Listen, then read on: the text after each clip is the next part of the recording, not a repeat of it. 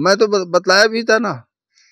मुख्यमंत्री जी को विधानसभा में, मैं कहा, साले साहेब, इतना भ्रष्टाचार मत करो, जिसमें क्या बोलते हैं, केंद्र में पैसा देना पड़ रहा है और चुनाव आप लड़ रहे हैं उसका उत्तर प्रदेश का। कितना सीट मिला है?